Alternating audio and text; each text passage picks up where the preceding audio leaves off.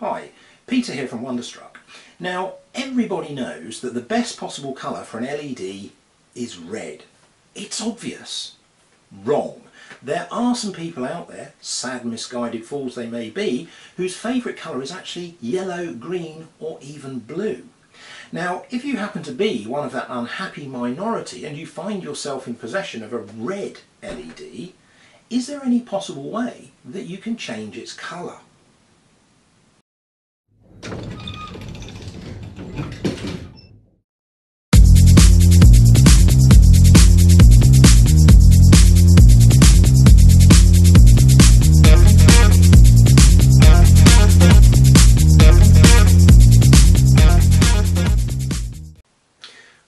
It is, and it involves liquid nitrogen. Okay, so what we're going to do is we're going to put some LEDs into liquid nitrogen and see what happens to the colours. Okay, let's start off with a red LED and see what happens when we lower its temperature to minus 196 degrees in a little flask of liquid nitrogen. So in goes the red LED and immediately you can see the colour changing from red to a yellowy orange. And if we take the LED out you can see that the tip is actually quite noticeably orange and as it warms up again it turns back to a nice red colour. So let's try a different colour. Let's try yellow this time. Now this really does give quite a noticeable change. So there we go, nice bright yellow LED. Let's pop that into the liquid nitrogen. And you can see it's turning green. Actually quite a vivid green. And if we take it out, there we go, you can see that's a really nice bright green. And as it starts to warm up again, again it reverts to its yellow colour. So the big question is, why? Now before we can understand why the colour changes when you put the diode, the LED, into liquid nitrogen, we need to understand a bit about how an LED actually works. So firstly, LED stands for light emitting diode and they're made from semiconductor materials. Now a semiconductor is just a material which has an electrical conductivity halfway between good conductors such as metals and good insulators such as glass. So they sit somewhere in the middle. Now if that was all there was to them they wouldn't really be that interesting but they have another uh, kind of property if you like that makes them much more interesting and much more useful and that's the ability to accept impurities which can be used to control their electrical conductivity. And we call this process of adding the impurities doping and we call the impurities themselves dopants. Now there are two uh, types of doping if you like. Uh, the first we call n-type doping because what we're doing we're introducing atoms, the impurity, the dopant, which have extra electrons, more electrons than the atoms which make up the crystal lattice of the semiconductor. So when those atoms are in place, those extra electrons are free to roam around the internal structure of the semiconductor. So they uh, are able to transmit an electric current because they're negative charge carriers. Now that's where the N for N-type comes from, N for negative. So the other type of doping is P-type doping. And in this case, we're introducing impurity atoms, dopants, which have less electrons than the uh, atoms that make up the structure of the semiconductor. So when these atoms are in place, they're actually providing, if you like, the lack of an electron. And we call this a hole. And in certain ways, it can be considered to be a positive charge carrier. Now, it's not a real particle it's really the absence of a particle.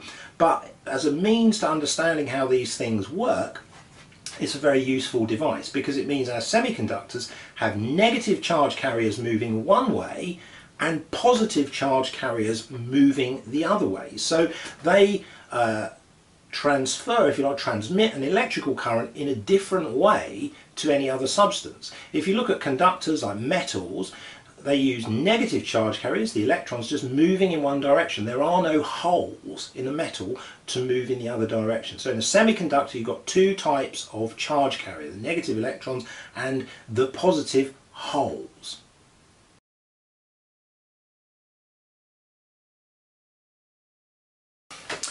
Okay, so how does a hole actually move if it's not a real particle? Well, if you imagine a row of people sat at the cinema, uh, here's the screen, here's a row of people represented by little bits of chocolate. Now imagine that the person in the aisle seat decides they need to leave early. So they vacate their seat and disappear from the cinema. The person next to them thinks, hmm, that aisle seat looks better than the seat I'm in, I'll get a better view. So they move one across. So our empty seat has now effectively moved from here to here. Now the person next to that empty seat thinks, well this seat is better than my seat, so I'm going to move one across as well. So now the hole has moved from its original starting position here to here. And then the person at the end of the row thinks, I'm going to move as well, so the hole is now here. So that's how a hole moves through the structure of a semiconductor.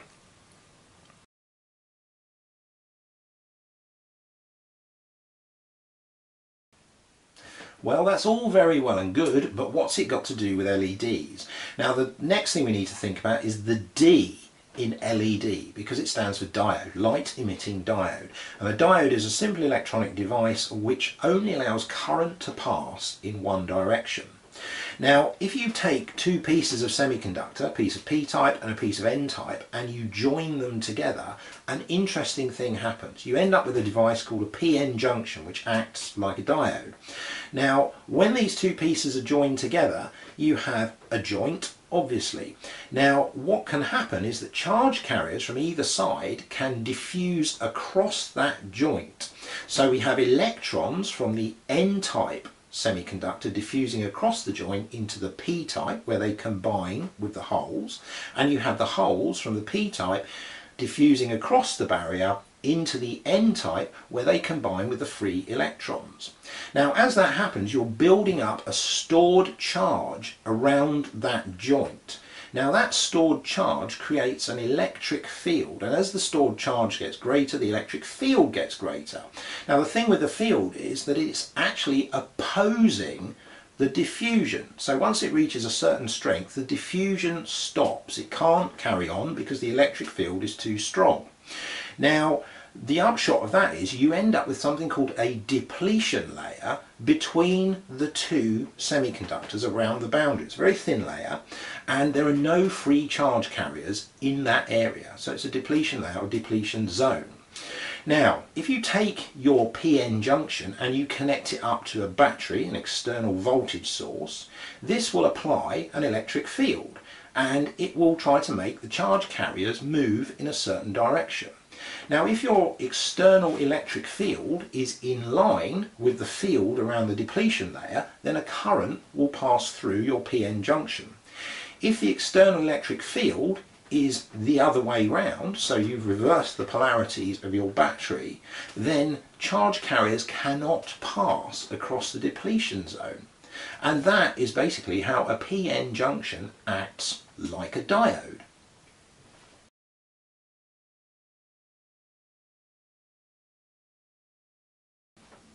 Ta-da! At last we're in a position where we can understand why an LED emits light and why that light changes colour when we subject the LED to a big temperature change.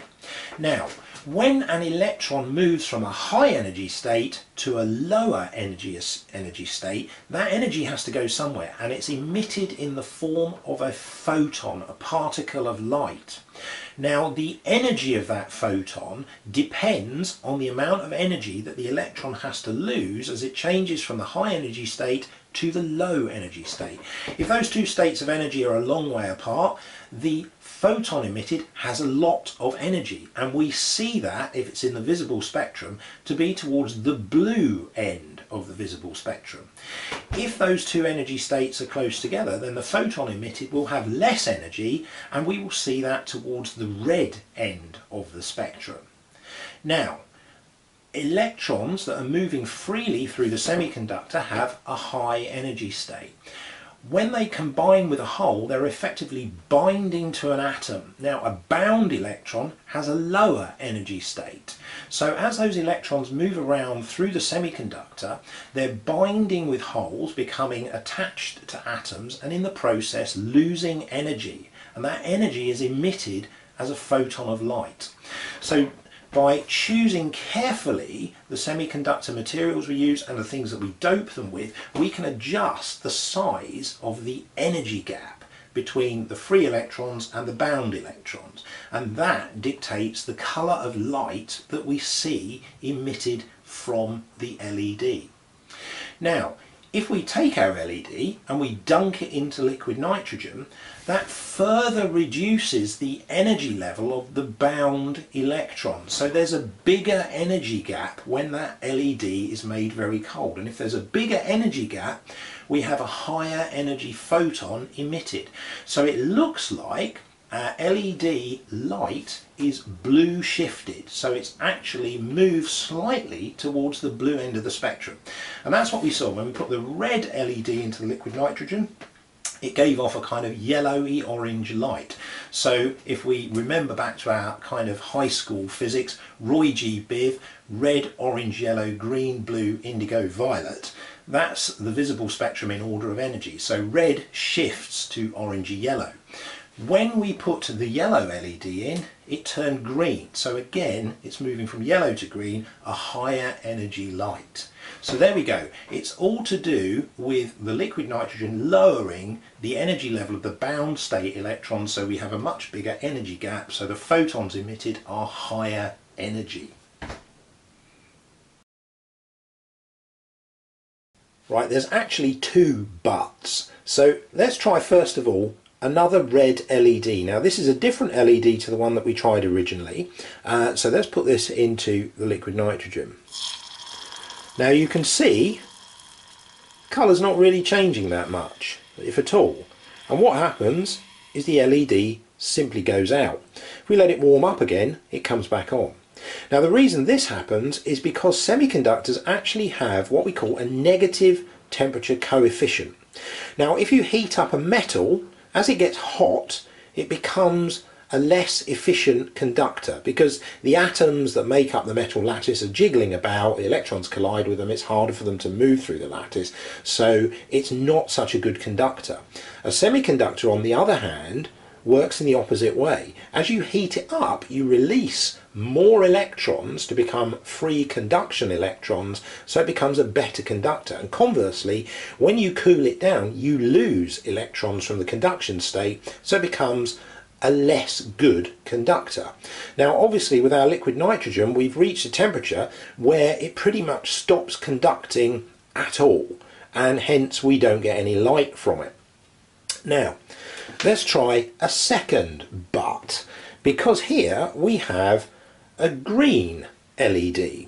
Now based on what we've said, as you cool down your LED, the electrons which are in the bound state are actually losing more energy, so the band gap, the energy gap between them and the conduction electrons is higher, so when a photon is emitted, it's a higher energy photon.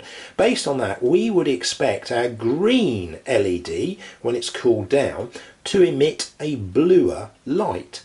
So now let's have a look at what happens.